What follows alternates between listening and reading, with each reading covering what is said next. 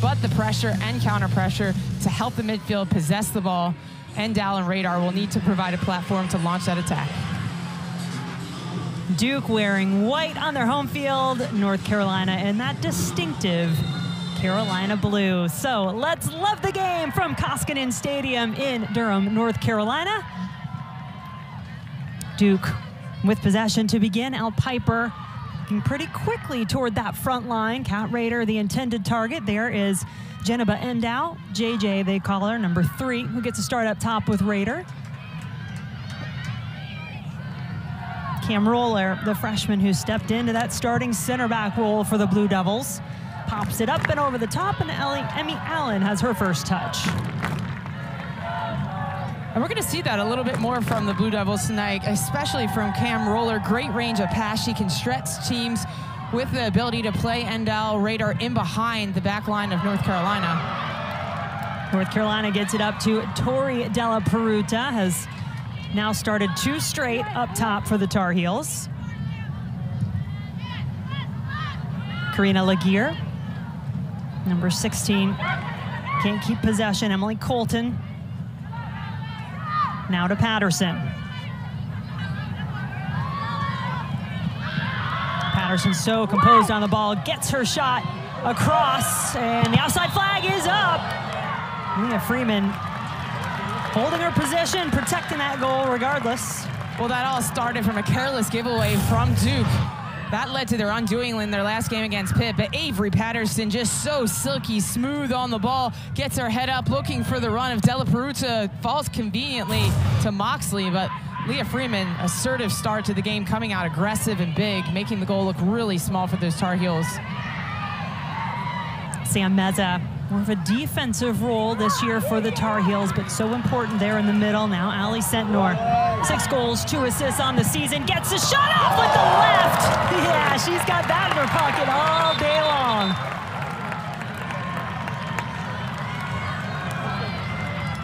And that's where Ali Sentnor really likes to come to life in the space, in the pocket, between the lines. She's got an enviable combination of pace and exceptional control here. She picks it up off of Meza into Moxley. Sentnor making that run into the wide channel. She takes that intelligent touch laterally to central areas. That gives her a more threatening position to unleash from distance. But Leah Freeman equal to the task, using her long frame to extend her range make the save. Here comes the corner. Emily Moxley putting the first corner in play for the Tar Heels, and now it is out for a goal kick.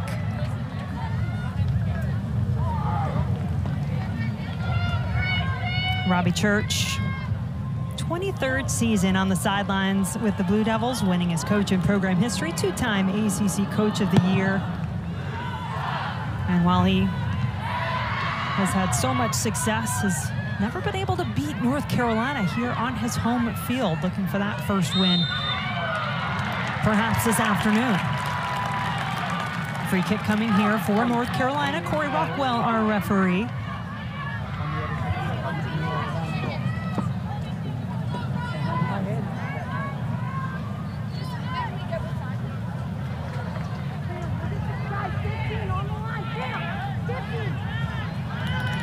Certainly dangerous territory here, Jill, for Moxley. All those targets lining up for North Carolina. Good ball from Moxley, but driving in a little too close, and Freeman takes it over. And Leah Freeman allows this Duke team to play in a different way. She can play those longer passes with accuracy, with texture in behind the back line of the Tar Heels, but it is her ability to protect the goal area. Such an impactful presence. And typically when she can pluck the balls out of the air, it's because teams are forward, they've filled the box in the key zones, and they're primed and ready to be countered on.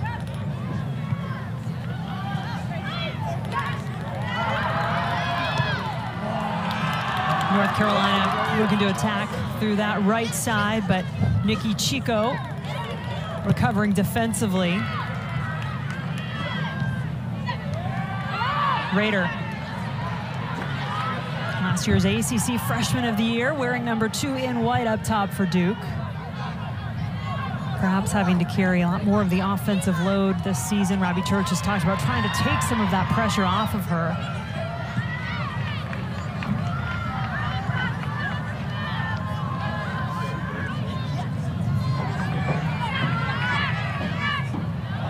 Good touch. Ali Sentnor gets it right back to Meza.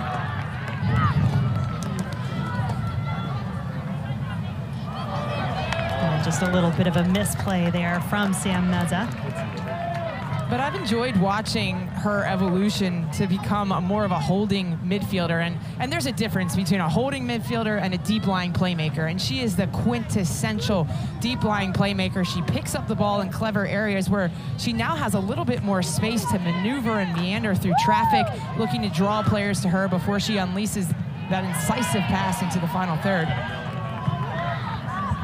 Meza, an All-American last year for the Tar Heels. And to your point, is seeing quite an evolution in her time here, senior this year. And, and the stats really don't do her justice and they don't really reflect her value to this team. But she has an upward positive trajectory from this midfield and the most accurate passes into the final third for this Tar Heel team.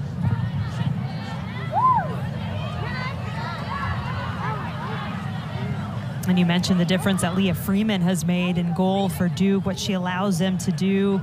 Transfer this year coming in from Oregon, where she was three-year starter, ranks number one all-time at Oregon in both shutouts and goals against average.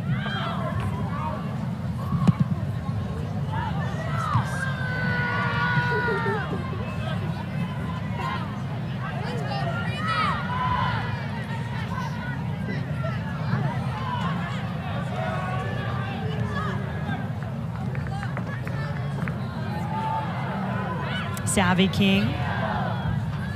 Really tremendous freshman stepping in the center of that back three. Great to see Macy Bell back, by the way. She did not play in Thursday night's game against Miami. And Savvy King, number three, had shifted over to that right-hand slot where Macy Bell now is back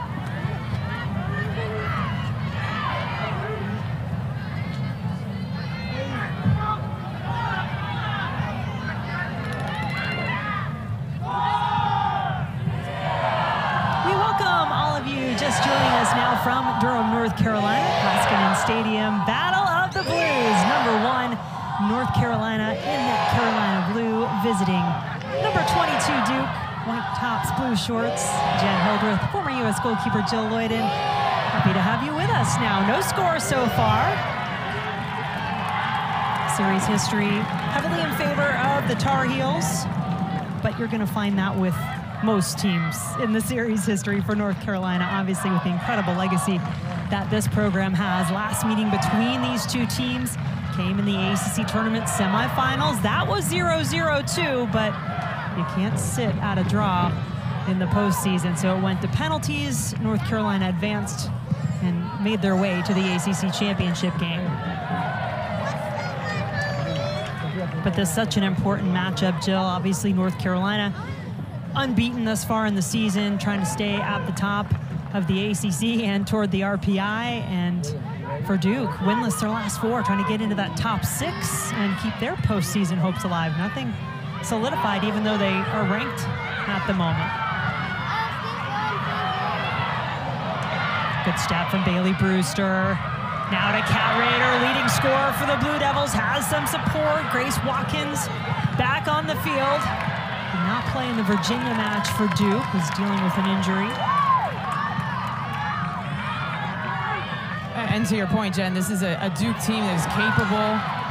They have a lot of attacking firepower. They just have wobbled in form in their last few games. Tonight, I'm looking for them to just kind of get back to the basics, make the simple things matter the most in terms of be mistake-free and build up, have options to the ball carry to break down the press, be really good in their individual battles in both boxes, and see if they can set play through the midfield diamond. Meza leaving defenders in her wake, but at the end, she left the ball there too, got stuck behind her, good defending in the end by Duke. And Meza wins it right back. All-American for North Carolina last year, number 10 in the lighter shade of blue. Emerson Elgin, part of that back three for North Carolina. Elgin, Savvy King in the middle, Macy Bell, who will receive it now on the right.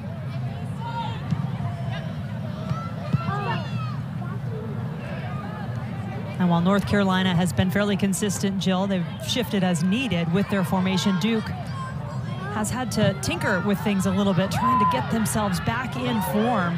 A tough go of it this last four. Patterson.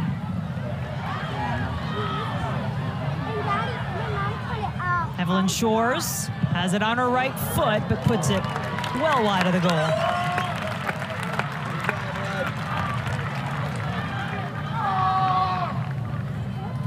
In terms of formation, Jen, this year we see North Carolina play in that three box three, essentially, with a 3-4-3. They've moved one of their outside backs into the midfield, and this is a trend that we've seen all over the world with some of the best teams and the best clubs in the world want to provide a little bit more stability in the midfield and outnumber opponents.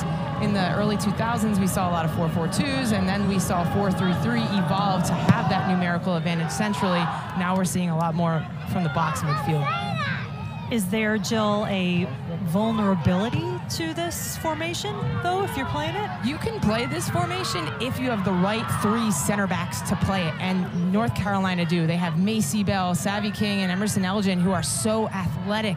They are good in the recovery. They play high and aggressive. That allows their team to push higher up and counter press, keep possession, and fatigue teams with a high volume of passes. Now, for Duke, if they can exploit that and bypass that press, there's going to be space for them to play make. And we've seen that in the early moments of this match. It seemed a, a real point of emphasis for Duke, looking to get up and over that first line of pressure, as you said, and get behind the back line. No success yet, though. Well, it's both. We want to. They want to play in behind North Carolina's back line, but they can play in front of that back line too. If Rader and Endow can provide that structure to hold the ball and then play back to the midfield, allow numbers to get forward so that they can keep possession. This is a a Duke team that completes and attempts over 500 passes a game. That's who they are. They want to possess the ball. They cannot rely on just getting into track meets with North Carolina because North Carolina win every time good effort there from Shores to win the ball for North Carolina. Took a hit for it in the end. Ask Megan if she has her uh, Tar Heels 9-0 and 4 on the season coming in, 4-0 and 1 in conference play. Coming into the day, Florida State and Notre Dame both ahead of North Carolina in the standings as they picked up victories earlier today. Duke 5 4 2, 1 2 and 2 in the conference.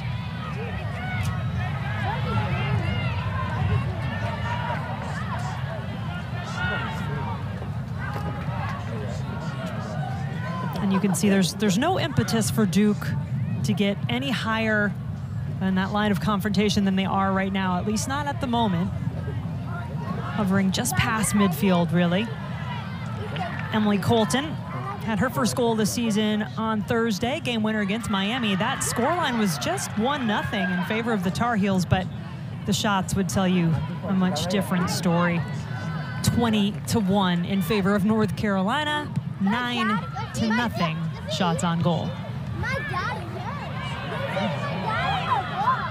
Blue Devils will certainly have their hands full trying to get a good look at Emmy Allen's goal today. North Carolina has been equally as tough to break down as they've been successful getting into the attacking third and getting shots off.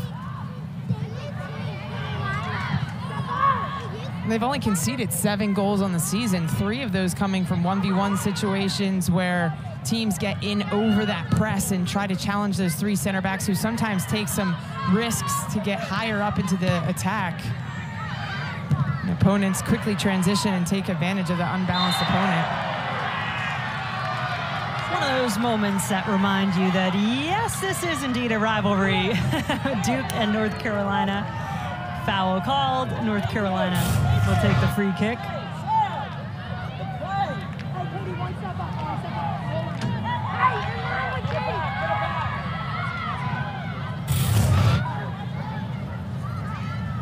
Sentnor out to Patterson. Shores Rader having to come pretty deep on the field to pick up the ball for Duke.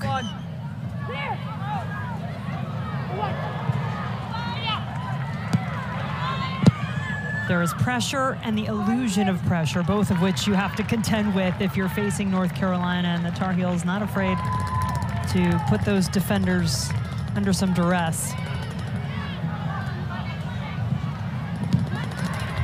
Good step forward by Cam Roller. Meza back onto it. One quick touch to the right, but the Duke defense where it needed to be.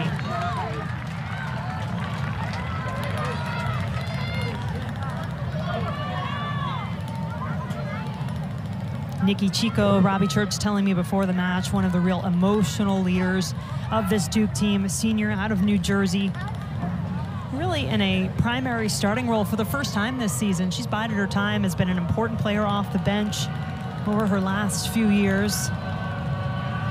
But this is a Duke team accustomed to being in the postseason, finding success.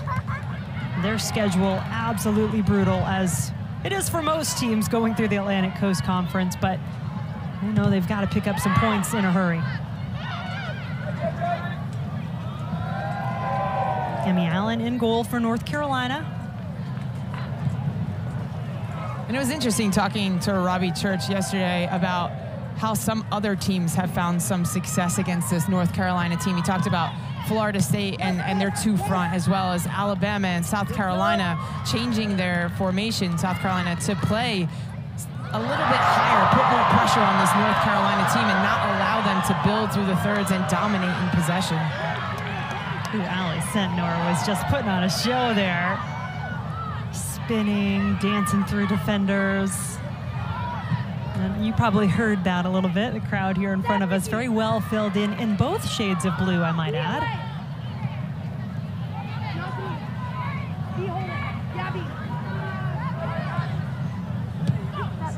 And Duke's still without a couple of key pieces.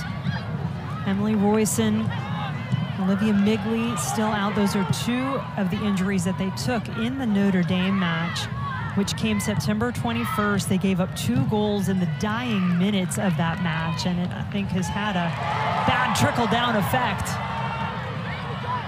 Watkins had to pull it back. El Piper stepping onto it now for Duke.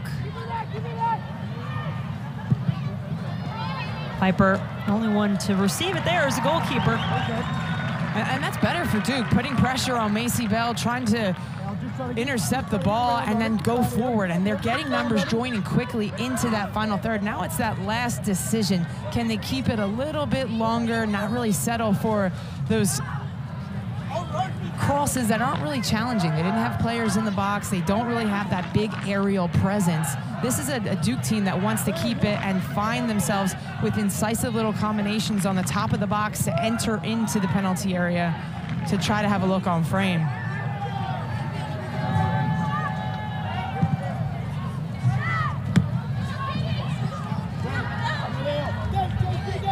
Patterson making her way to the middle, goes back to Bell. Jill, is there anything you'd like to see from North Carolina to have the game go a little bit more to their liking? I would love to see them stretch out the field a little bit more, use those wingers to occupy those those wide areas and see if they can get Duke's outside backs to bite. That's going to crack open the half space where those double tens can get into, and then they can penetrate Duke's back line to get into the final third. But right now they're just playing in front and central areas, and it's really tight and congested.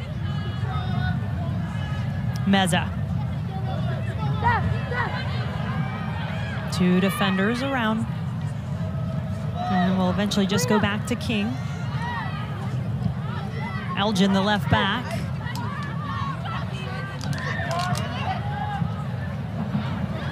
Still good numbers in the box. Tori Della Peruta gets knocked down. This is going to be a free kick. For all intents and purposes, a short corner for North Carolina.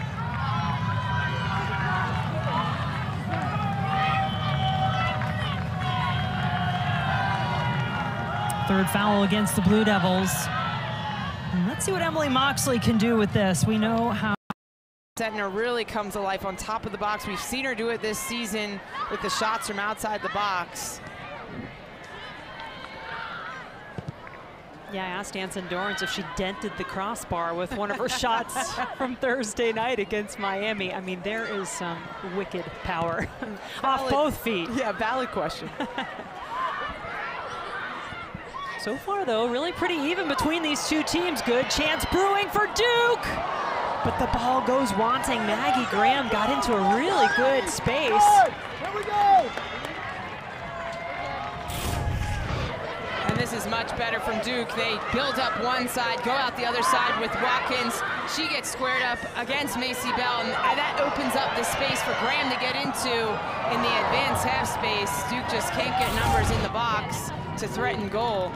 But those are the mo moments that Graham wants to take another second, have that awareness that there aren't runners in the box, keep it, recycle possession, see if they can be more threatening.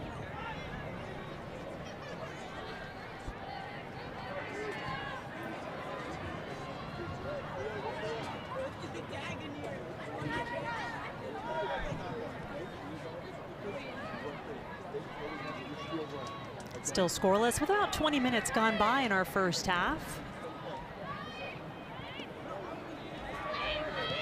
And Jill, you've mentioned it a couple times, the, the double pivots, double sixes holding midfielders for North Carolina, the double tens, those attacking mids as this one's turned over. That puts a lot of bodies central with the formation. As let's see what Watkins and Duke can do with this. They're gonna force Allen at least to make the save.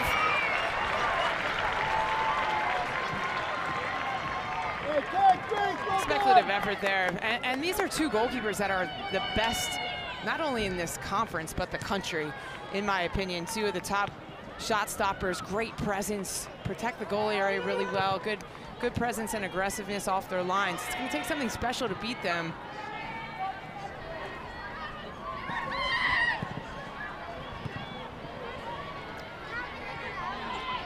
Colton. So where does that width come from? That's kind of what I was trying to get to with North Carolina. The way that box sets up, there's a lot of body central. You want width. Where does North Carolina get it? This one, though, right up the middle.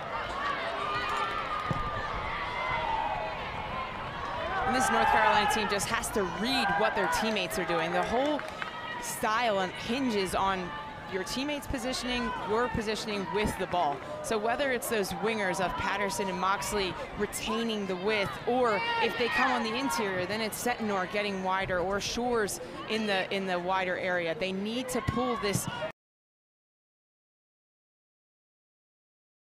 this 4-4-2 diamond apart, stretch them Boy, Roller had to play that just right. She did put just enough on it as Della Peruta was there.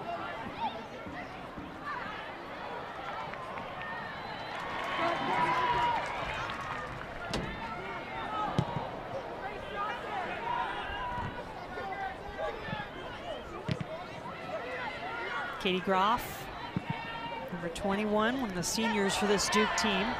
Couldn't keep possession.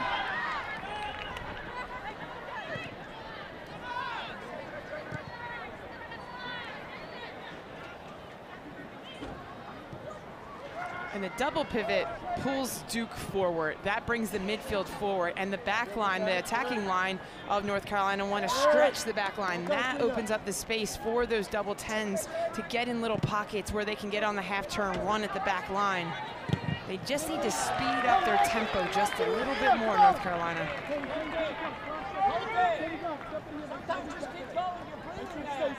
Cat, cat! JJ, go. Go, go, go. Go, go, go, go.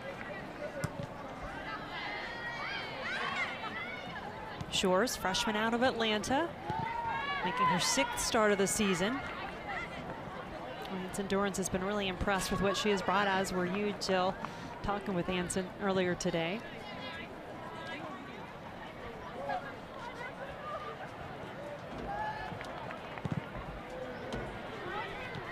Moxley have to try to collect this ball herself.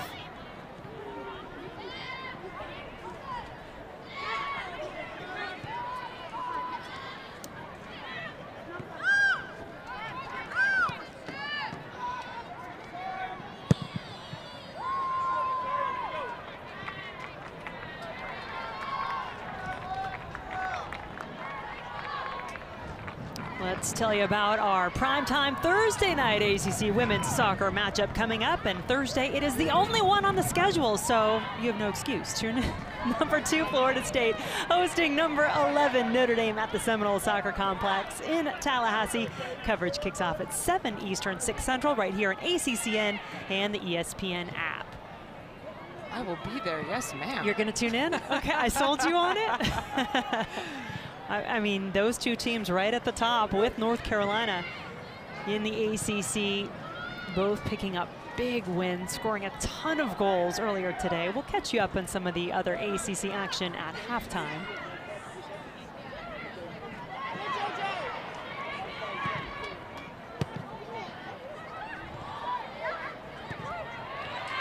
Is there any surprise for you, Jill? Has even as this one has been so far, or is this about what you would have expected? Think about what I expected. North Carolina just patient in their possession, trying to circulate the ball and just really fatigue Duke with a high volume of passes. Just like to see them use the width a little bit more. And Duke, once they do get a hold of the ball, they've had some longer stints of possession in some sequences. Now it's just it's just been a question. The magic question all year is can they turn those sequences and that possession into more quality, dangerous opportunities? Go, go, go! Turnover here. Can Rader take advantage? Back to Karina Laguerre.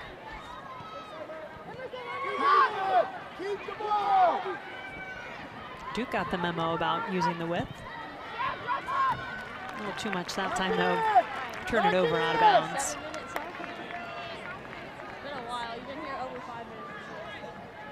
Katie minutes, long-time Duke legacy in her family. Five family members went to Duke, including both her parents, who met here.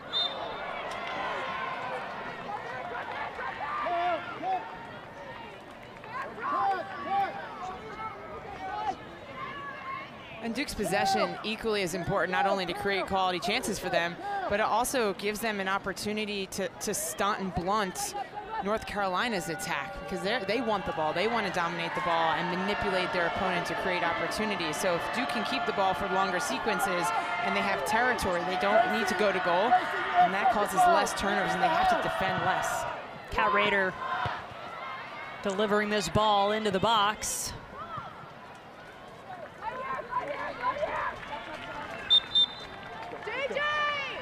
And Duke ready to make some subs.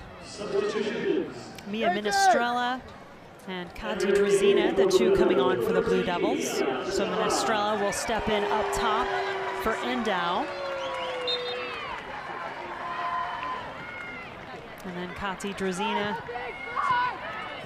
coming on for Grace Watkins in the attack. Transfer from Notre Dame, Druzina.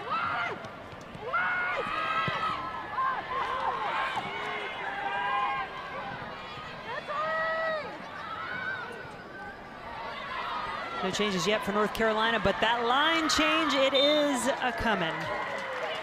This is a staple under Anson Dorrance, who feels he has plenty of talented, game-changing players who start his games on the bench. Looks like there are six, maybe seven, getting ready to come on for North Carolina. They're not being waved in yet, though, from Corey Rockwell.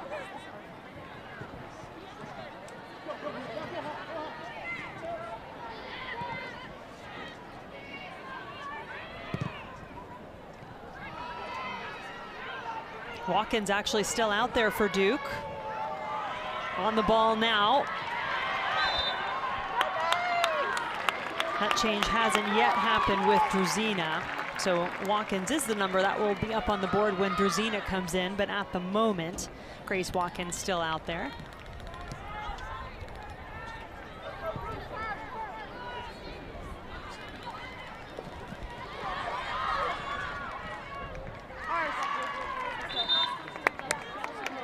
And now here come the changes for North Carolina.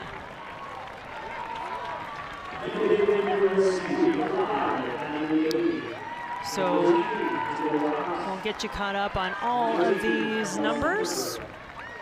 Melina Rebimbas, Tessa Dellarose, Izzy Cox, Kate Faasse, Talia Della Peruta, Maddie Dahlien, and Bella Sember, all of your changes for North Carolina. And essentially then, Jill, that is every player on the field except for the back three and the goalkeeper. I mean, uh, all of these players on North Carolina, this is a, a, team with an abundance of talent, not only in their starting 11, but on their bench, coming off the bench to impact this game.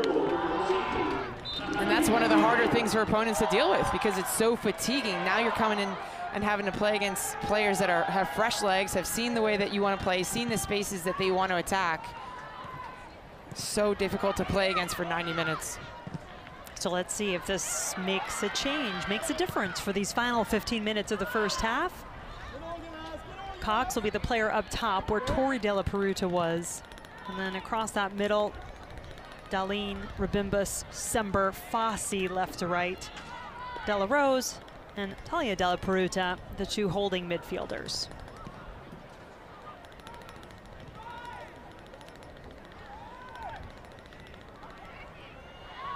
Maycee Bell. Such a big loss for North Carolina last season after an All-American season in 2021. Now Duke with a chance on the break. Rader to Minestrella. And my, how quickly that space is closed down by North Carolina. Keep it, here. Good. Change it. Come down, come down, come down.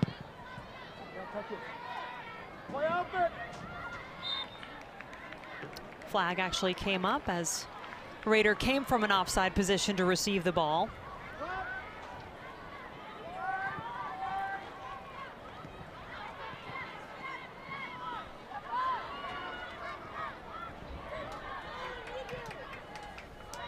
It is a pretty packed house here at Koskinen Stadium this afternoon. Both shades of blue well represented for this matchup between Duke and North Carolina, a rematch of the ACC semifinal from 2022. Needed overtime and penalty kicks to decide that one in North Carolina's favor. You won't get that in the regular season. The regular season meeting last year went 3-0 in favor of North Carolina. So Tar Heels were able to claim a share of the ACC regular season title along with Florida State.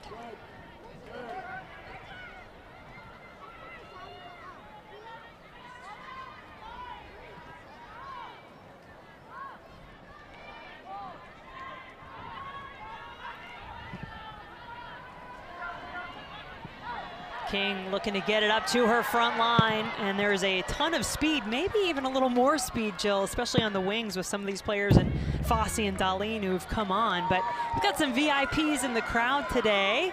Tess Boade, Duke Blue Devils, and uh, she has a pretty memorable moment. Last time Duke beat the number one ranked team. Well, she had the game winner. It was in 2021 against number one Florida State. You see Brianna Pinto, Emily Fox. Caroline and Marissa Bova.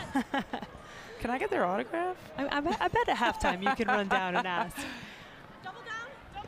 That Tess Boade, I think was the ringleader in trying to get the tickets and playing in the NWSL, the North Carolina Courage, picking up a point last night in front of a record crowd just down the road in Cary, North Carolina, over 10,000 in attendance. And we've seen that across the National Women's Soccer League over these last few matches. Of course, the all-time NWSL attendance record was set on Friday night in Seattle. Megan Rapinoe's last regular season home match for OL Reign. That league coming down to its final few regular season matches.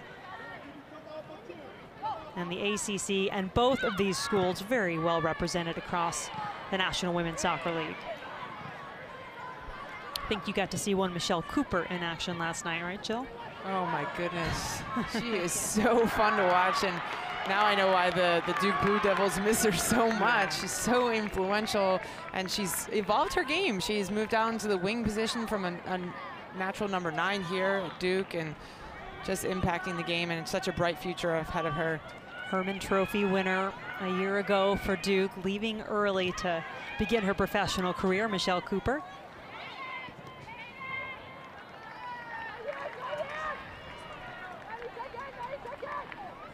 You know, sometimes when you take on North Carolina, and Robbie Church talked about this this week, withstanding that first punch that comes in the first 10, 15 minutes is often so important. Duke has done that. And I think equally more important for this Duke team right now and the form that they've been in. And he talked so much about how the team needs to continue to have confidence and there needs to be a, concerted effort to keep the ball and be brave in moments. Could have an opportunity right here. Still good numbers for Duke, the shot, but in the end, a really easy save right into the gloves of Emmie Allen.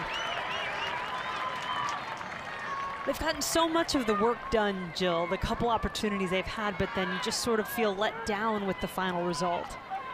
I th think they can just be a bit more patient in the final third. They're just settling for low percentage opportunities when they can keep it a little bit more. We're talking about one of the best possession teams in the country with some of the most pressure resistant central players that can one touch combine around teams. Now they just need to continue to try that right now. Just looks like they're settling and rather just sit back and hang back and defend a little bit more. The numbers will tell you that Duke has outshot North Carolina so far in this match, four to three, but to your point, the shots have not been of the quality that I think Duke would really like to do a better job of testing Emmie Allen and the Tar Heel defense. Ball intercepted. Chico stepping in to win it for Duke, and now the free kick coming for the Blue Devils.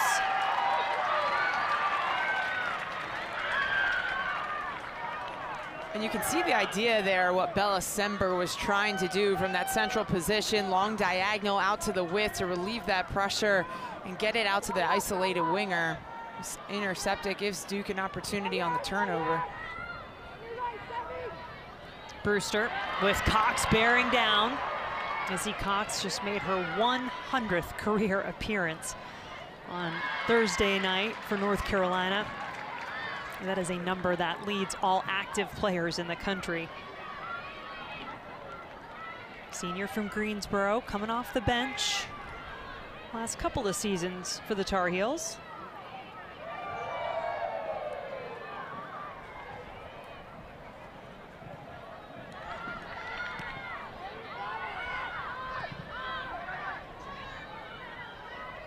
Can see Duke really does make use of Leah Freeman in goal, don't they, as just a pressure release, resetter of distribution. And we're going to see that more and more as time goes on. I think the goalkeeper position is one that he's evolved the most from just a traditional pure shot stopper to as an 11th field player. That gives you a numerical advantage some point in the field. And really against teams that don't high press, that sit in more of a mid block where the goalkeeper can eat up some ground, start the attack from a higher position on the field. And that makes their longer passes more accurate and behind, which is where Leah Freeman really helps this Duke team. Throw in coming here, Savvy King with the clearance, Laguerre carrying the ball forward for the Blue Devils. Elle Piper, sophomore out of San Jose, California, ready with the throw.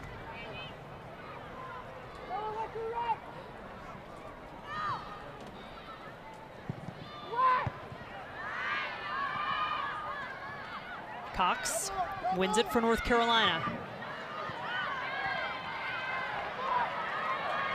Tar Heels begin their march down the field. Rebimbas gives it away. A little bit of contact there from Cox is what brings this ball back to the feet of Della Peruta. Dahlien pokes it with her right foot. Doesn't get too much on it.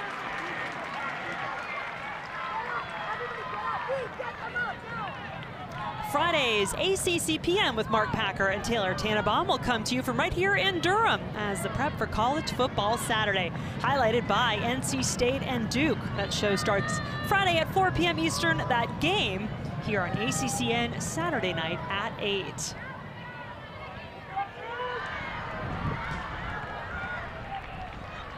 And I think another thing that makes North Carolina so difficult to defend against for 90 minutes is, yes, they bring in players with fresh legs and still the same quality, but different types of profiles. So you had Avery Patterson starting in that wing position, yes, really influential off the dribble, but a much different type of dribbler than Maddie Dahlien, and her ability to change speed, stop, start, freeze, and unbalanced defenders is much different contribution than an Avery Patterson will play with. So it makes it really difficult for defenders to understand how to play in those moments, and those moments of uncertainty cause hesitation, which makes defenders slower, and it's more advantageous to the attacking team. Rader will pick this up for Duke. Savvy King was pulled out of position. Can Duke take advantage? Maggie Graham falls on the ground. Minestrella will rue that chance not going on target.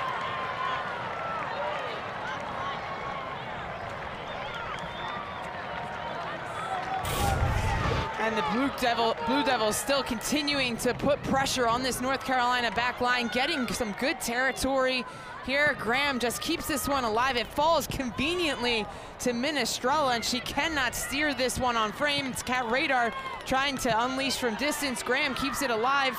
Fortuitous bounce to Minestrella, and she cannot take advantage of that developing situation in front of goal. Those are the moments that the Duke Blue Devils have to put away.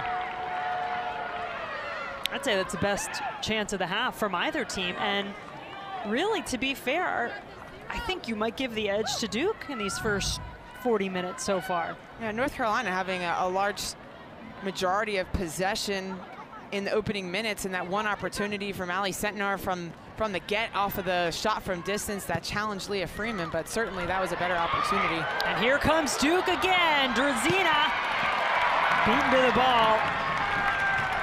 And as Della Peruta got back to help defensively for North Carolina. Faasse, excuse me, Kate Faasse was the player, sophomore, who came back.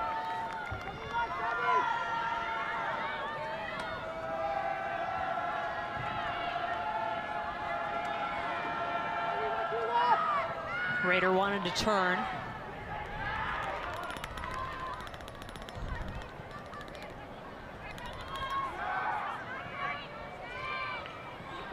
This first half rather uncharacteristic for North Carolina in a number of ways. Mentioned it earlier, but Duke actually out shooting the Tar Heels in this first half. And even in the games that have been tight for North Carolina, look at what they typically do, how much they outshoot their opponents. Not today, not yet.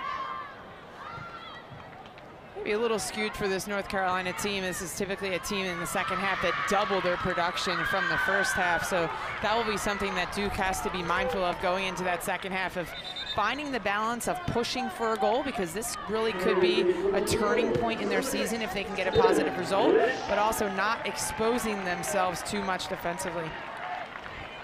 Devin Lynch coming on for Laguerre for Duke. And, you know, if I remember correctly, I think NC State actually had gotten a good number of shots off in the first half. They liked the way they played their first 45 minutes against North Carolina, but that one finished 4 nothing in favor of the Tar Heels. NC State picking up a big win earlier today. And as a reminder, we'll catch you up on some of those other ACC scores and highlights at the half.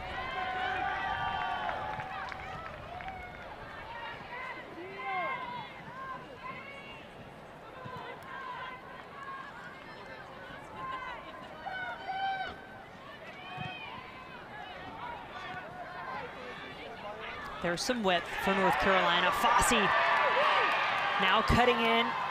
That's where the defense waits. She keeps it though.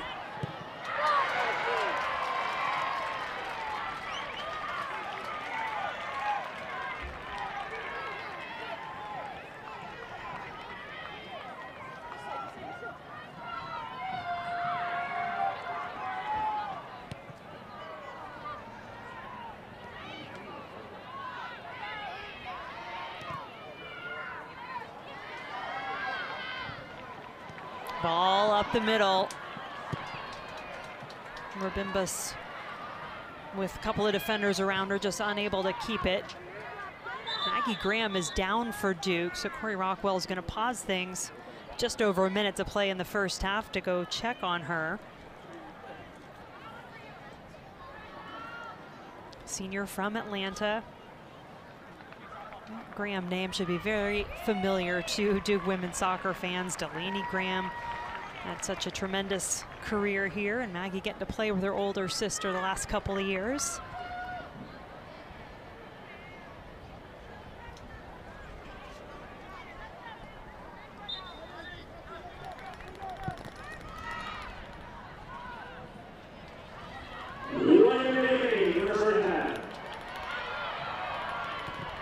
Duke has grown into this first half. Can they take advantage of it? Good defending. Back three of North Carolina, so tough to get past.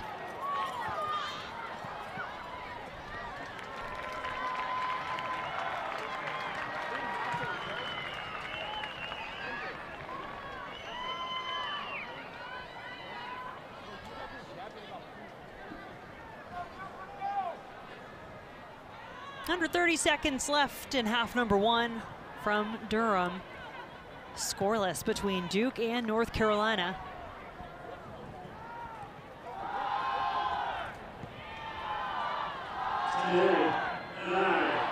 Let's see if Savvy King tries to force it for maybe one last shot. Doesn't look like it. Maycee Bell is going to keep it at her feet and keep that scoreline, Jill, 0-0. Credit goes to Duke in this first half. They defended in that 4-2-4 and made it really difficult, which has opened up opportunities from distance or inside the box. But those outside backs do like to get forward, and Duke vulnerable in transition in those areas and on crossing situations. Off we go to start the second half now. North Carolina in Carolina blue, moving from left to right. Across the field, Duke in the white tops, blue shorts. Looking to pick up where they left off in the first half.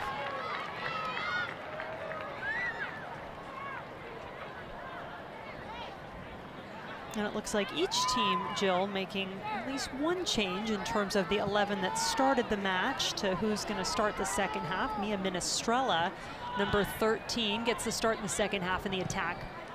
Up top with Kat Rader for Duke, but here comes North Carolina. Patterson is offside. Kate Faasse does get the start on the right-hand side in place of Emily Moxley in that Tar Heel formation. Kate Faasse, just a speed merchant. She allows this North Carolina team to stretch Duke, play in behind that back line, which Coach Anson Dorrance said at halftime could be an option that they look to take advantage of. Kate Faasse's the perfect player on the edge to be able to do that. Here's Minestrella. Savvy King knew exactly where Kat Rader, the reigning ACC Freshman of the Year, was, intercepting the pass. Here's Faasse on the ball. Met immediately by the player Robbie Church, highlighted Nikki Chico and the defensive work she's done, but Faasse giving her all she can handle and then some right now. Sentnor pokes it through.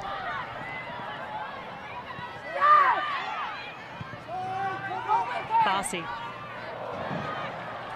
Maycee Bell coming up, manages to win it back. She'll serve it into the box, but right into the gloves of Freeman. It looks like a clear concerted effort for this Tar Heel team to retain the width. Kate Faasse really stretching apart Duke's backline, creating those openings. It looks like they're trying to recruit all of the Duke players to one side, pin them into one side to isolate on the other and take advantage of space on the opposite side.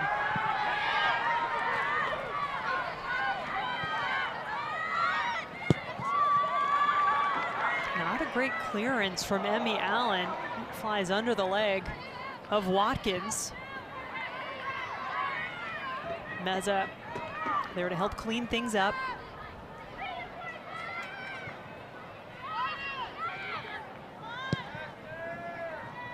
King over to Elgin.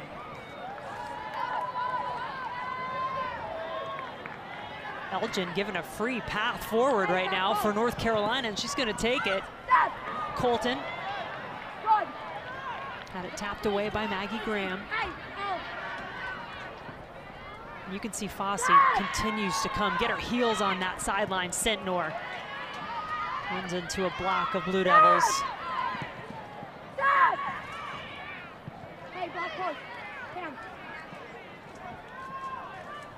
Faasse.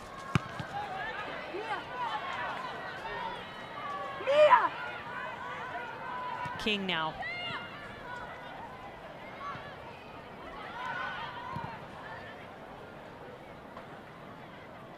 Step up, step up. King. Graham had it for a moment. Now Minestrella has Rader. Leading pass and those long strides of Maycee Bell are going to be first to the ball. North Carolina's back line is just playing on the edge of their final third when they progress the ball in. And this is a North Carolina team that is high risk, high reward. Those are moments that Duke have to take full advantage of in transition. Once they win the ball, create those turnovers, can they take advantage of North Carolina's attack that's just so high? Yeah, you want to make them pay, right? But at the same time, you said it earlier, North Carolina is able to play the way they do in large part because of those three in the back. And you just saw how Maycee Bell just eats up space. Offside flag is up here against North Carolina. But all it does is take one moment, one moment where they're out of position. Maybe they make a, a misjudgment in terms of how high they can be and the recovery that they can make in behind. And those are the moments that Duke's going to be looking to take full advantage of especially through Kat Rader. It's one of many moments, if you're being truthful, that if you're Duke, you miss the presence of a Michelle Cooper because I'm not sure there was a better player in the country who could take advantage of a high line like that in space with her ability to read and get into dangerous positions. Graham, good combinations here from the Blue Devils in the box now for Rader. Offside, though, would take this away anyway. It's going back to North Carolina. And here's a look back. That's that central little combination play that Duke likes to rely on so often. Suck North Carolina's defense inside in those central areas. That leaves space around the outside where Raders trying to take advantage of it. Ultimately, it was deemed offside, but that is where Duke is special. Della Peruta Goes down to the ground, no foul, says Corey Rockwell. There's some more contact. North Carolina still with possession.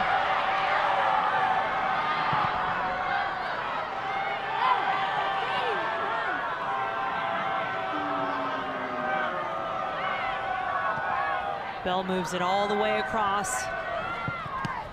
This takes a deflection out, and this will be just our second corner kick of the match. Had just one in the first half for the Tar Heels.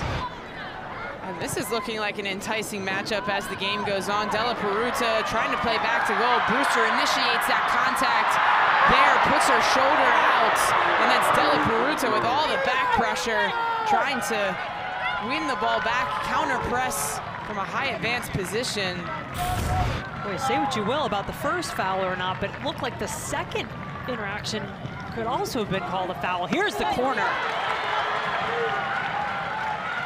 Brewster perhaps maybe a bit fortunate, but I will say Corey Rockwell was right there on top of the play, had a good look at it.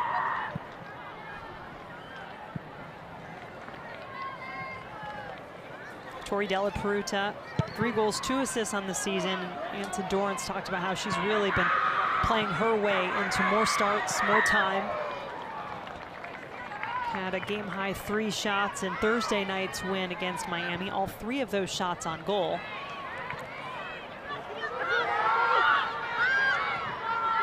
She uses her body so well to get in between defenders and the ball, sees little pockets of space, can roll defenders to create shots for herself, or really good in combination play as well. She's not that traditional out-and-out -out striker, although she does have the frame for it. She's more intelligent, creative than that.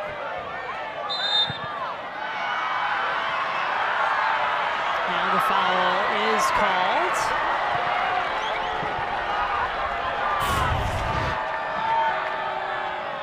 Clever little move here.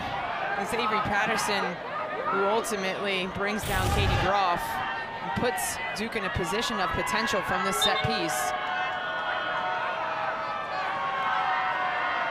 It's been a, a relatively clean match thus far, seven fouls in total. Imagine that was what the Blue Devils were looking for from that set piece. Gear touches it wide.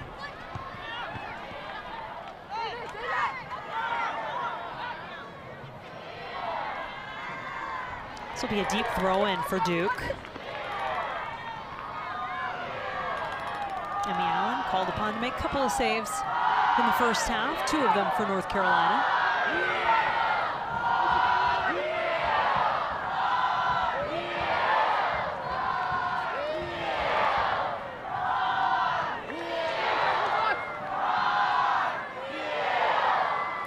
Piper ready with the throw-in. Minestrella had two Tar Heel defenders around her and earns her team its first corner kick of the match.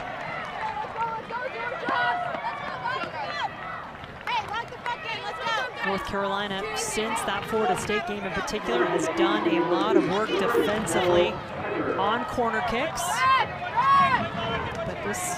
Is an area you'd have to imagine Duke, when scouting for this game, will try to take advantage of.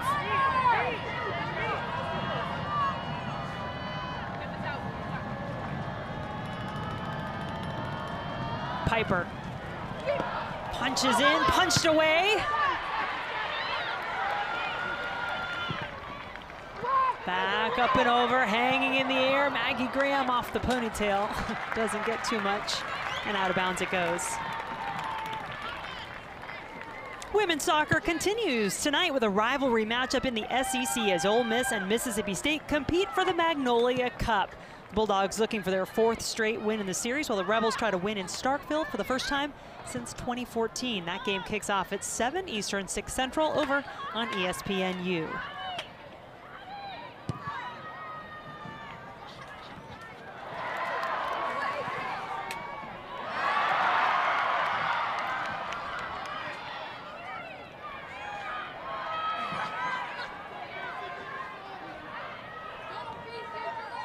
Carolina forced back.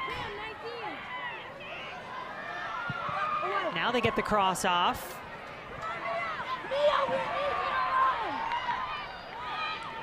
Patterson back to Meza, Sentnor. Meza, an uncharacteristic heavy touch, gave it away.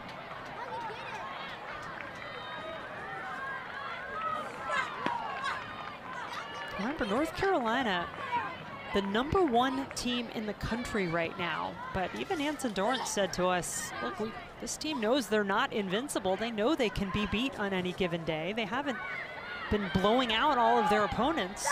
It's just a one goal game on Thursday night. I thought Sentnor was gonna pull the trigger on that one. Instead, she lays it off.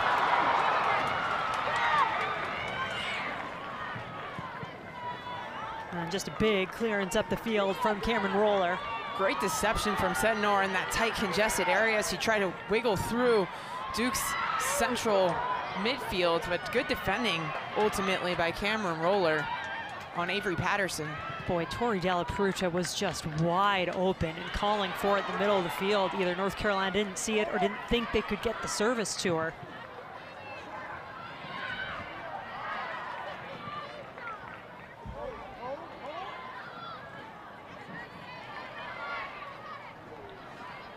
Chico with an onslaught of Tar Heels coming at her. Faasse heads it down. Sentnor. Della Peruta bodied off the ball.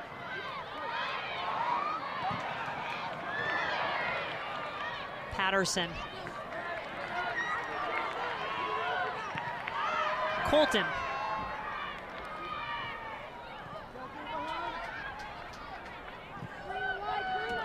A mid-block, Anson Dorrance said he felt Duke was playing that North Carolina was really having difficulty unlocking and calling all these names and there are so many talented attacking players and really credit to Duke that we've not been able to see any of them really get loose in this match.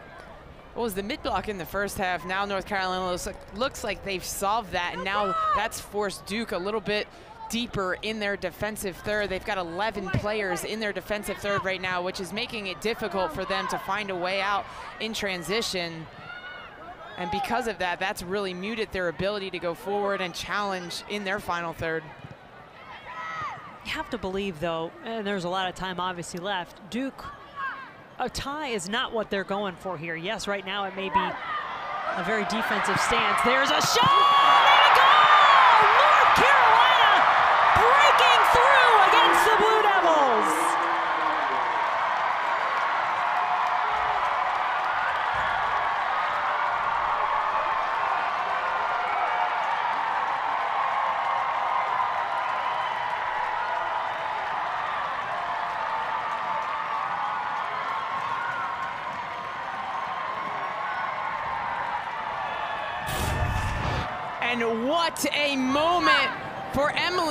Colton. It's North Carolina attacking in those wide spaces. Colton just positioning herself in an area of uncertainty for Duke's back line. Not sure who should step. That gives space for Colton to unleash from distance as it just kisses off the crossbar and tucks away into the side netting. An incredible, stunning goal from Colton from distance. And that is worth all the probing for the Tar Heels. Second goal of the season, second goal in as many matches for Emily Colton, who had the game winner on Thursday night in that 1-0 win against Miami. Don't really think a draw was in the cards for Duke to begin with. Now, they've got their work to do just to get it even again here in Durham. And does this open things up for North Carolina? Della Peruta goes down to the ground. And there is no whistle.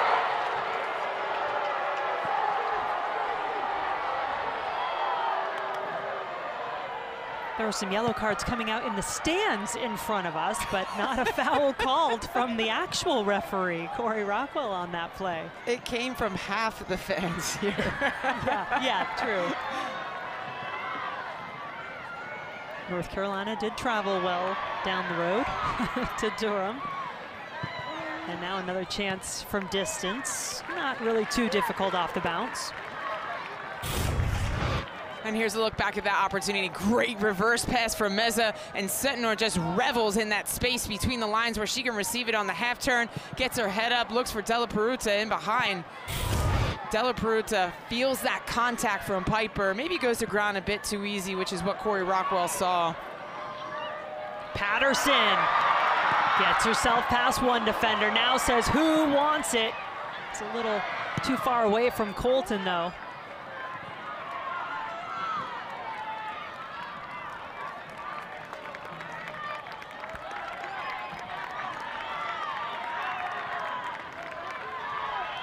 Avery Patterson, one of those players that Anson Dorrance says always seems to rise to the occasion.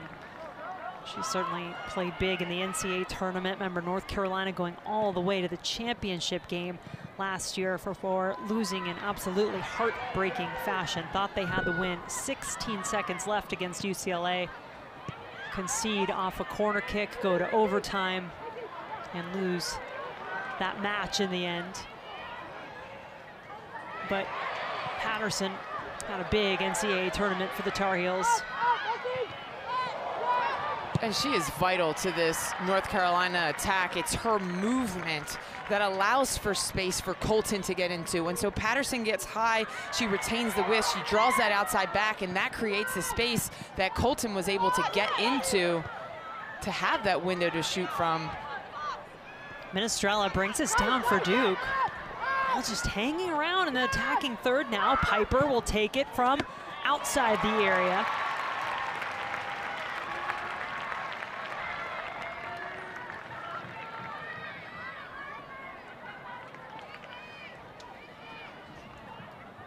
Emmie Allen back in goal, did not play Thursday night. North Carolina and Anson Dorrance opting to give Nona Reason the start. Got the shutout. Didn't face a shot. I think this is one of the hardest jobs in college soccer to do is be a goalkeeper at, at North Carolina as, a, as someone who is not constantly in the game. You have to be tuned in 90 minutes when your name is called, make those. Ooh, gotta be tuned in right here. Sorry, Jill, that ball. Freeman, lucky that Della Peruta didn't take it and make her pay. But yeah, I see your point. North Carolina has the ball in their attacking third so often that's its challenge in and of itself when you're not seeing the ball very much. You have to have clarity in, in key moments when teams, especially, are going to try to bypass your press, play in behind you. You have to be able to protect the space behind, as well as you're not going to get played through too often, so teams are going to look to go around. You have to be good at protecting the goal area. Leah Freeman having to protect as well as North Carolina looking a little more direct. Anson Dorrance saying at halftime maybe they needed to think about that a bit more vary their attack.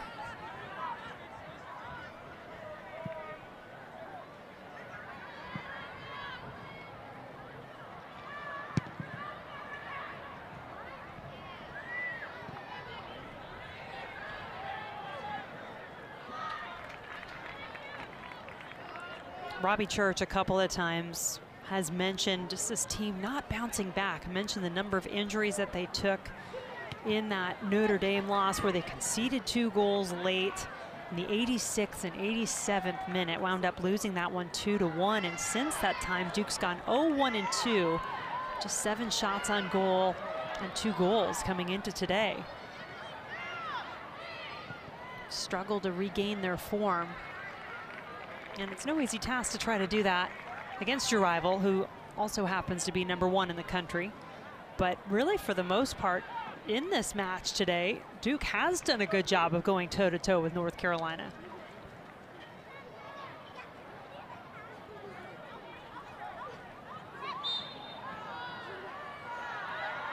This is a foul against the Tar Heels. Chico holding her ground, and Duke will take the free kick.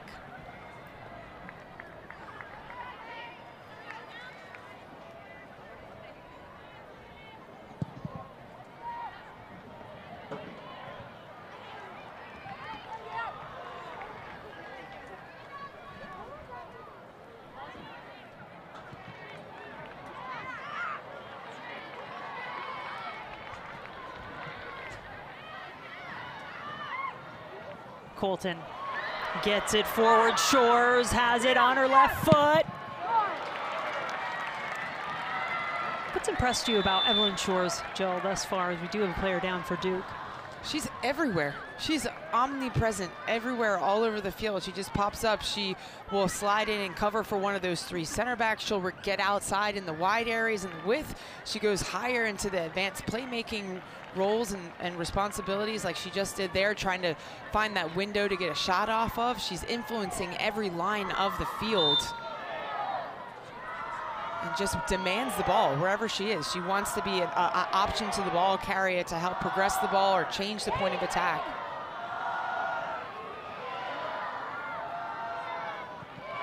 Seems to be able to get a shot off or a cross off with just a sliver of space in front of her. I think that has to be on your resume yeah. when you're when you're a high school player looking to play at North Carolina. Well, here's Shores again. We'll go out wide, Patterson. Across it comes to Bell.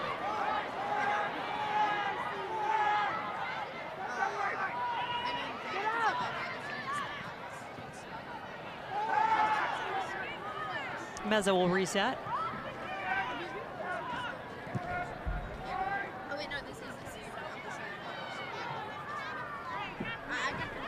Shores. Colton, oh, that would have been nice. Patterson, actually, that was.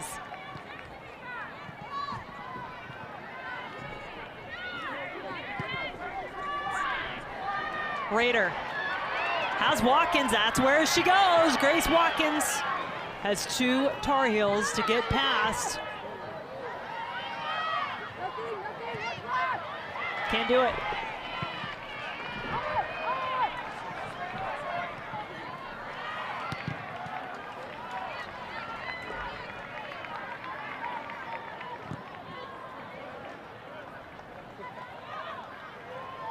North Carolina 18-0 2 all time when they come to Duke. Looking to improve upon that, stay unbeaten if they can pick up the victory today. Both in their series and in this 2023 season.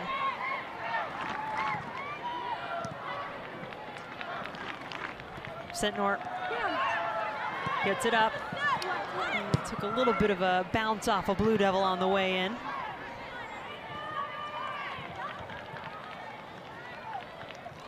Away, Cam, away. Keep it in. It's ours.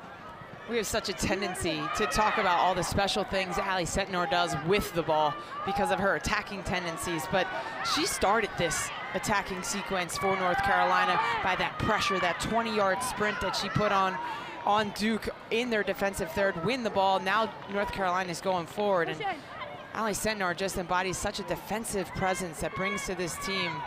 You don't see that from, from all-stars, essentially, in the attack. How about center backs getting up into the attack for North Carolina, kick-starting this one, still in the box, Colton. Pushed away by Roller. One change coming now for North Carolina. Cox will replace Della Peruta up top. And whereas we saw the full seven do the exchange in the first half with about 15 minutes left for North Carolina, just Cox coming on on her own up top in this instance.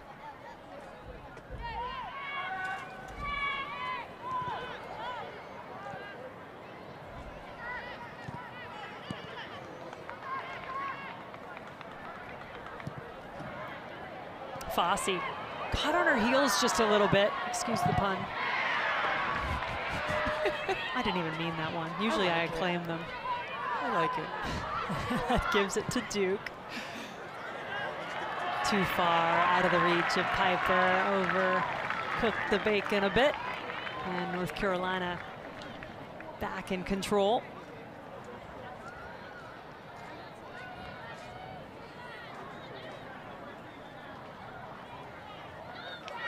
Is there one thing, Jill, that if you're Duke, you need to do a little bit better right now just to try to find your way toward the goal and even this one up? They really have nothing to lose at this point, so getting 11 players back in the defensive third doesn't really make a whole lot of sense because there's no outlet in transition. There's no way to escape that counter pressure of North Carolina. So I'd like to see Duke take a bit more risk with their forwards, keep them high, and ask some questions of that Tar Heel back line. Now, are you going to go as high? Are you going to have the freedom to join in the attack as high as they are? Yeah, we've seen Maycee Bell, Savvy King, both getting up into the opposing penalty box. To your point, Watkins is fouled here as she's spun around. And they can do that because of the athleticism that they embody, the anticipation, the reading of the movement of the opposition. And it's here, Maycee Bell just getting pressure on Watkins. But they also can do that because of the smart tendencies of the double pivot in Shores and Meza, who can drop in and cover when they see one of those three center backs moving forward. Maggie Graham flicking it toward the end line. Good battle for the ball, but Groff loses ultimately, and it'll be a Tar Heel goal kick. Emily Moxley now replacing Faasse. Moxley starting the game in that right wing position for the Tar Heels. Moxley getting the start, or Faasse, excuse me, getting the start in the second half.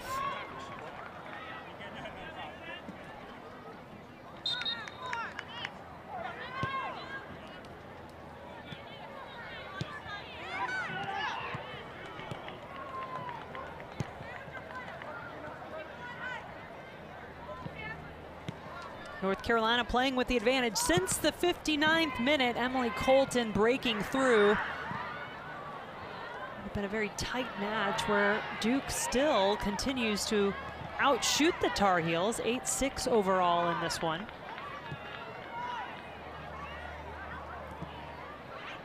Chico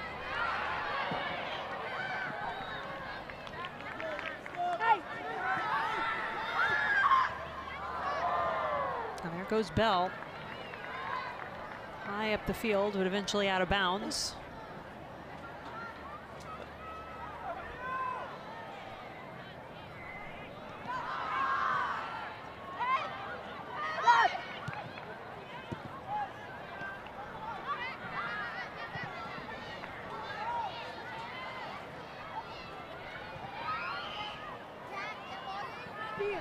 Moxley to Meza.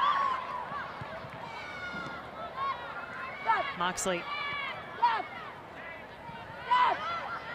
Two-woman game there with Moxley and Meza. Nothing doing at the end of it.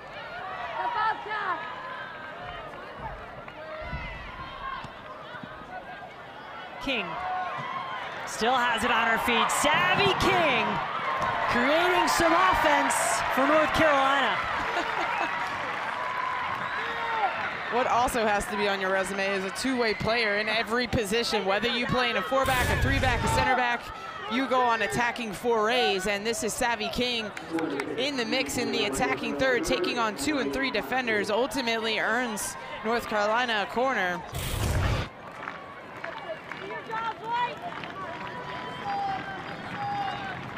Third corner kick of the match coming up here from Moxley in North Carolina. Freeman tipping it off the gloves. Did she have it? Well, she does now. But boy, that got rocky for a few minutes, seconds, truthfully, in real time. Now she took some contact. The question will be, did she have possession? It looked like she was batting it around for a couple of taps. And here's a look back at that opportunity. North Carolina swings it in, and it's Cox who's putting pressure there on Leah Freeman.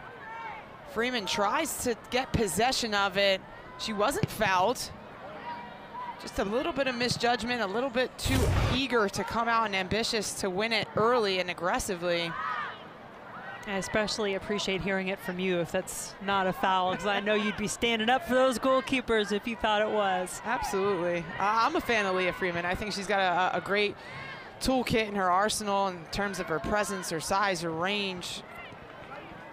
Great command of her back line leadership. I look forward to watching her grow. Certainly has a pro career ahead of her if that's the avenue that she wants to take. Rader.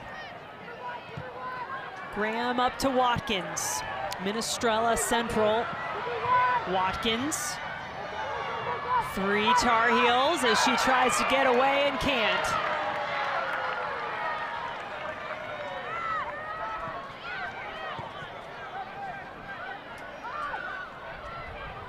Grace Watkins coming back off an injury, did not play in the match against Virginia on the road, which was a 1-1 draw for the Blue Devils.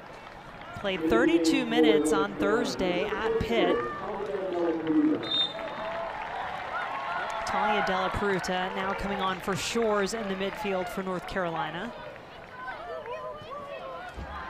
And this one-at-a-time subbing pattern for the Tar Heels just as they're making it a little too easy for us at the moment. Used to the big group coming on, but a different approach in this second half, certainly than what we saw in the first half. Piper playing into the shadows. A couple of them still creeping across on that far side of the field. Bigger shadows on the near side here at Koskinen Stadium.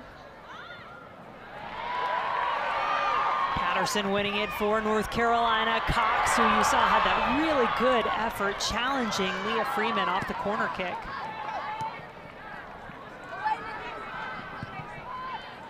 Chico picking out Watkins. Maycee Bell. Outside of the foot for Cox. In the box she goes. Still it's there.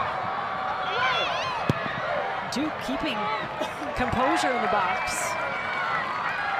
How can you keep possession when you've got a player like Maycee Bell just reading, staying in an elusive position, anticipating well, getting the pressure on the back of Watkins, just strips her, picks her pocket, first touch is forward, progressive, getting the ball into Cox in that final third.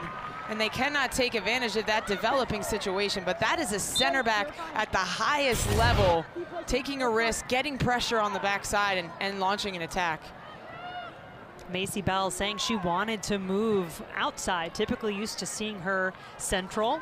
She's been an All-American for North Carolina, but she felt she wanted the experience of being on the outside of that three back, maybe more where you might see her professionally, wanted to develop there. North Carolina continuing to attack with Sentnor, gets it back. Some nervy moments for the Blue Devils defensively, but North Carolina still with nothing more to show from it. Here's Savvy King! Come on. Looks like North Carolina has changed to a four-back, and I wonder if that's because Coach Anson Dorrance sees his center backs taking these marauding runs out of the back line. Here it's Savvy King intercepting that, having a little space through that tight traffic and congestion, sees a window, opts to go for goal herself. See Tessa Dellarose, number 34, came on for Meza in the midfield just a moment ago. It does look like Moxley has dropped back to your point. Here's Bell. Just making sure Emmie Allen can pick it up with no problem. So how does that help? If they're in a four back and you've got your center backs marauding, I love that word, by the way, as we've seen. I think it just allows them to continue to keep the width and stretch that diamond apart, pulling. Yeah, Izzy Cox taking matters into her own hands. And a penalty! That's a foul on Duke! Penalty kick on the way for North Carolina.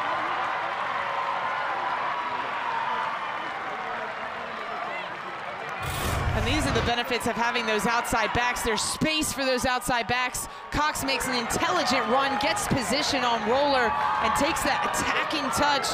Roller initiates contact from behind and clips Cox as she's threatening toward goal. Clips her right there on the right foot.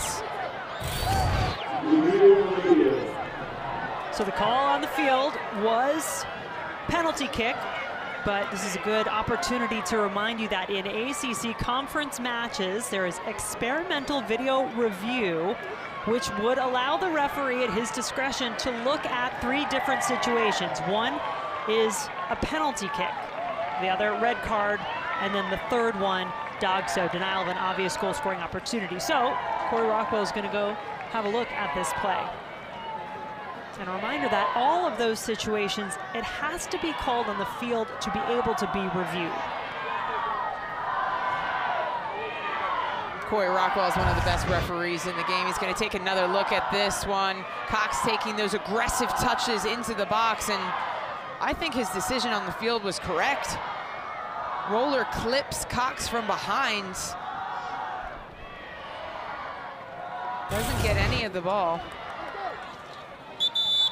The penalty kick is confirmed upon video review. I think you could probably even hear that from Corey. The penalty kick is confirmed, so he was right, but just might as well take a look if there was any shred of doubt. And so now North Carolina will get set. Robbie Church having his own look at it. He might have a different opinion, but call stands was confirmed. So North Carolina with a chance to double the lead from the penalty spot. The Tar Heels one of two in penalty kicks this season. And before they take this, it looks like Robbie Church is asking for more of an explanation. And he's going to get a yellow card for it. She's falling off balance. Keep that line easy.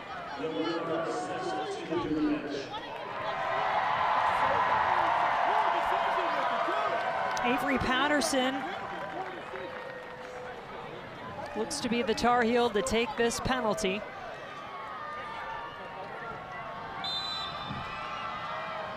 This will be her first penalty kick of the season.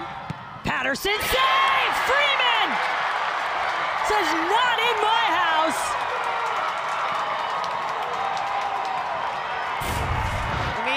Patterson steps up, uses the inside of her foot, and just puts it too close to Leah Freeman. Leah Freeman anticipates, reads it the entire way. It's a quite comfortable save, but that could be the momentum shift that Duke is looking for right now and give them a spark moving forward in the last 12 minutes of this match, pushing to find an equalizer. Huge moment there for Freeman and Duke. Let's see if it does give the Blue Devils a little more life.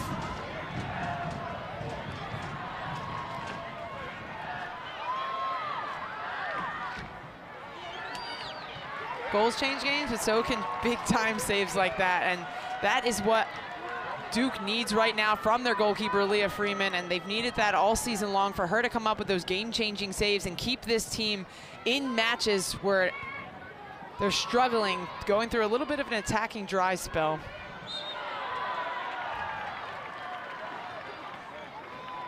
Now, sometimes you just need a moment like that to be the catalyst. And you said it at the start of the broadcast, what better opportunity to have a pivotal turning point in your season than to have number one and your biggest rival come to town. That opportunity is still there for Duke. Over 10 minutes remaining in this match. North Carolina taking the lead in the 59th minute. Denied a second goal from the penalty spot.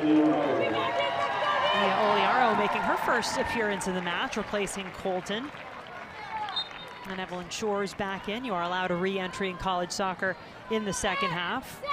Oliaro, freshman from Chapel Hill, grew up a big Tar Heel fan, as you might imagine, and is coming off the bench so far in her first year with North Carolina.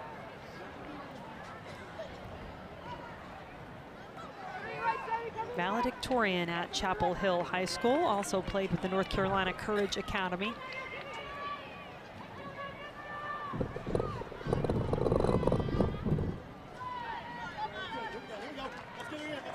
First penalty kick save this season for Leah Freeman.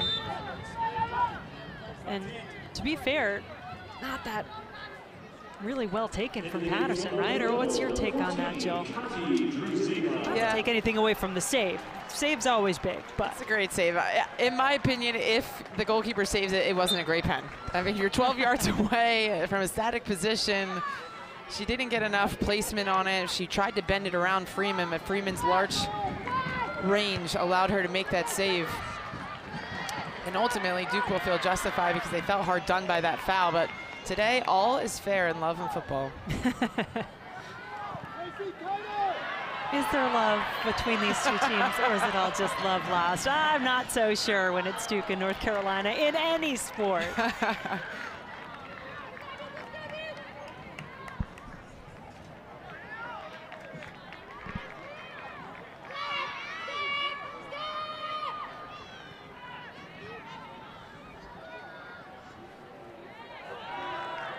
Shores.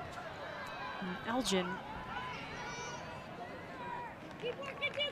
both on that side of the field. That was Shores.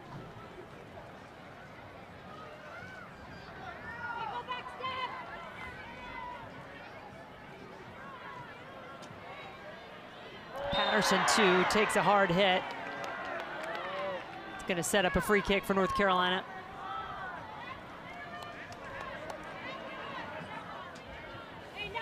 Draw, hey, sort it out. Sort it out.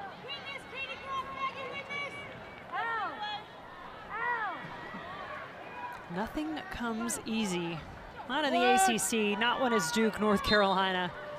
Still just a one-goal game, 7.30 to play from Koskinen Stadium in Durham. Diagonal ball into the box. Here we go, let's go, come on. North Carolina having to go low for the header, but eventually it's out of bounds. Here is our Week 7 ACC Network Saturday College Football lineup. Virginia Tech hosting Wake Forest at Lane Stadium in Blacksburg at 3.30 Eastern. And at 8 Eastern, the day is capped off by our ACC Network primetime matchup, number 17 Duke, hosting NC State in Durham. A good in-state rivalry matchup there on the football field. Emmie Allen protecting her area. Trying to hang on to the shutout here for North Carolina.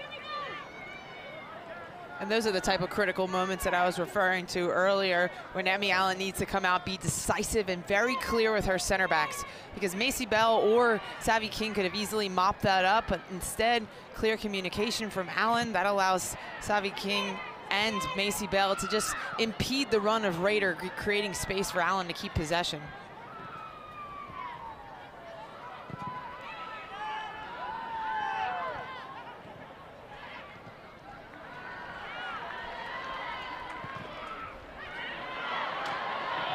To move for North Carolina. Oliaro.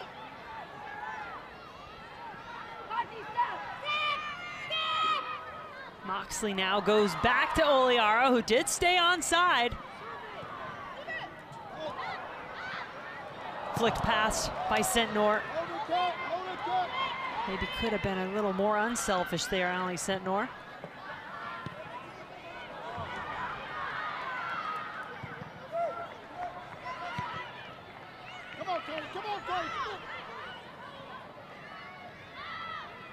more at stake in this match for Duke, certainly coming in. Couple things you have to think about. Staying over 500, that's what you need to be eligible for the NCAA tournament, and there is a tough road coming for Duke. Got Clemson also ranked in the top 10. Go to Virginia Tech, Florida State coming up on the schedule. And Duke coming in 5-4 and 2 right now. They lose this one, they go to 5-5 and 2, 1 3 and 2 in the ACC.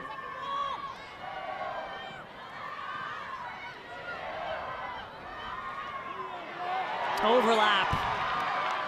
On point for North Carolina.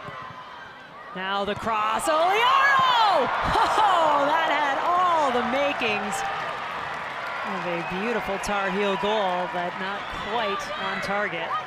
North Carolina just is so insistent in creating from these wide areas where they've got numerical advantages. Here at Shores, gets her head up, finds that back post run, actually central run of Oliaro. It's a good decision there for Leah Freeman to not put it out for a corner as it already was going wide. It's got to be so hard, Jill. You have to really make sure you know exactly where you are as a keeper, right? If you decide to pull your hand back from the ball. Once you see out of your peripherals the post and that your hand's going by, if you know it's going out, you can just pull your hand right back and allows your team to keep possession and not give up a needless set piece.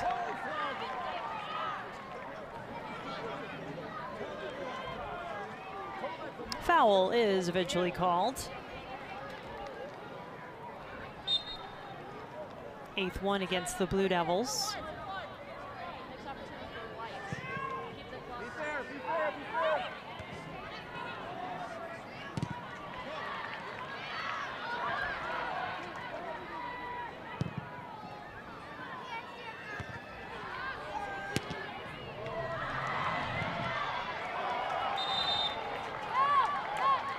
You can feel those in the darker shade of blue, ready to get behind this Duke team when they get into the attacking third. Three minutes to go. Devin Lynch coming on to help the Blue Devil attack. It's a very offensive substitution. Lynch in for Piper. No fouls! No fouls!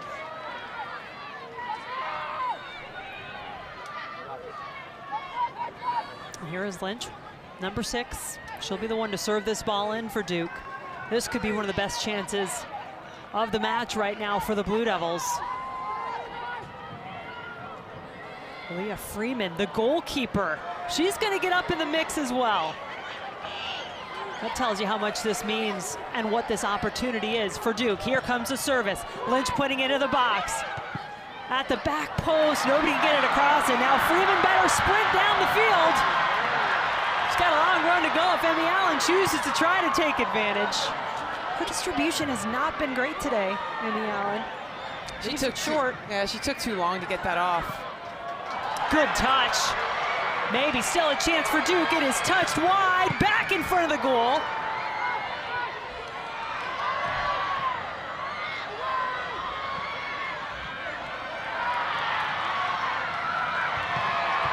North Carolina just needs a release. Bailey Brewster. Allow Freeman to crank it upfield again. I'm here for this late game drama. Well, especially when we get the goalkeeper coming up on a set piece. The player down for North Carolina. Hey! No foul! like that's Emerson Elgin, redshirt sophomore defender for the Tar Heels.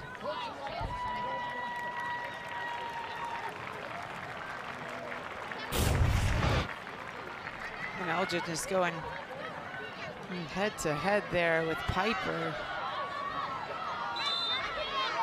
A Rader for Duke, uh, holding her head also.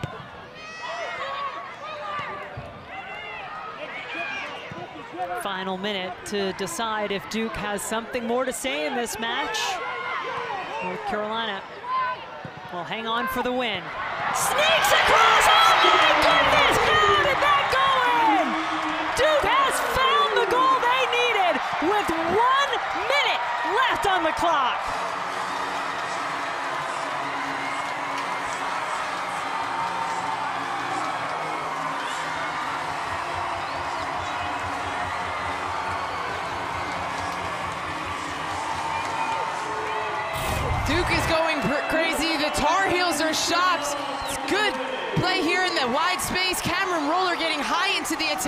And how is Rader between defenders untouched? All alone inside the penalty area, and it's a glancing header. What an intelligent finish with intention and purpose and thoughts. And it was always going to be Rader for Duke. Draws level, and the Tar Heels are shocked with a minute to go. Wow, Kat Rader with the precision to put that ball away at the stroke of 90, right at 89 minutes on the clock. Her seventh goal of the season. Now how much do you feel the ghost of missed penalties passed if you're North Carolina? Remember the penalty kick from Patterson saved in the second half. Oh, a big collision. Three players go down. Corey Rockwell immediately blows the whistle to go look at them. Let's go, come on.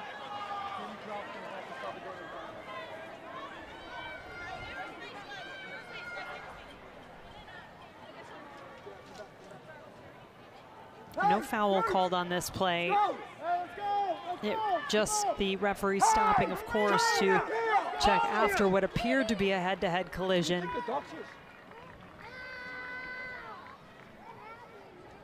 Katie Graf, come.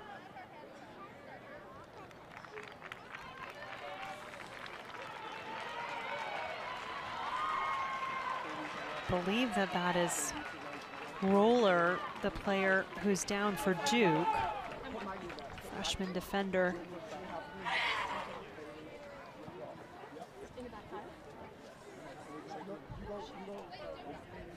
I think Avery Patterson was the Tar Heel. She's being helped off now. She's on her feet, but Roller still on the ground for Duke. And you can tell Patterson, she still looks shaken up. Yeah, that was a big hit inside the penalty area.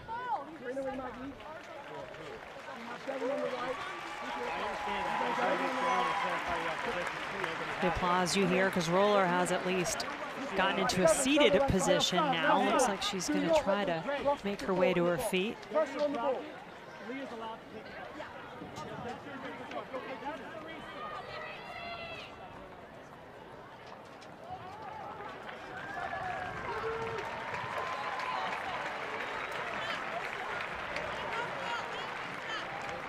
Both players now back on their feet, albeit a bit unsteadily. This is the play.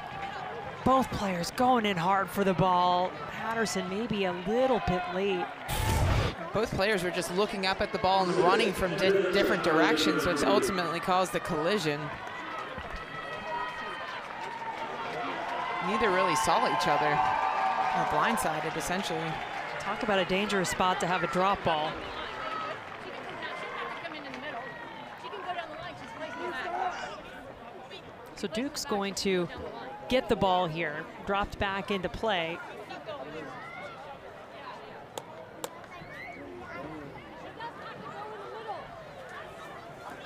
They were the team that had possession when the whistle was blown.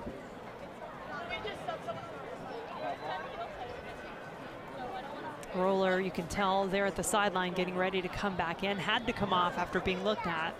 I would think she will need to be waved in by our referee, Corey Rockwell. The good news is Patterson looks like she too is ready to come on. Both teams at the moment then down a player. You know these rivals are going to battle and fight until the end. Actually, no, maybe it did look like Duke had made a sub.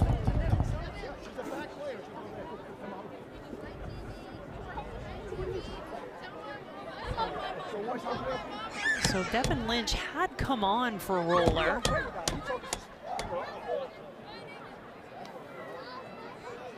That's the confusion at the moment. Roller's wanting to come back in, but the sub was allowed.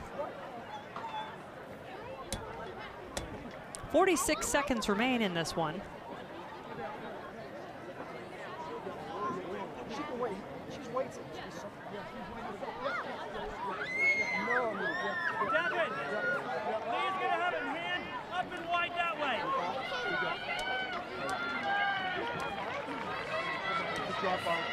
Now, no sub was put on the board for North Carolina, which I would think would mean Patterson should be able to come right back in. Roller can't until there's another substitution opportunity. So yes, here comes Patterson back on the field. Roller, because Duke made the substitution, will have to wait it out on the sideline.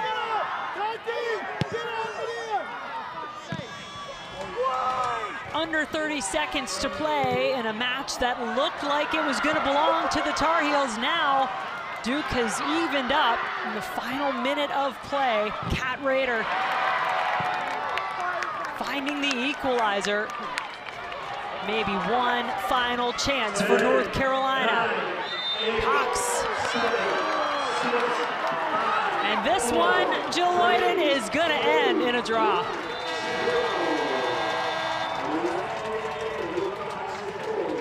And we talked about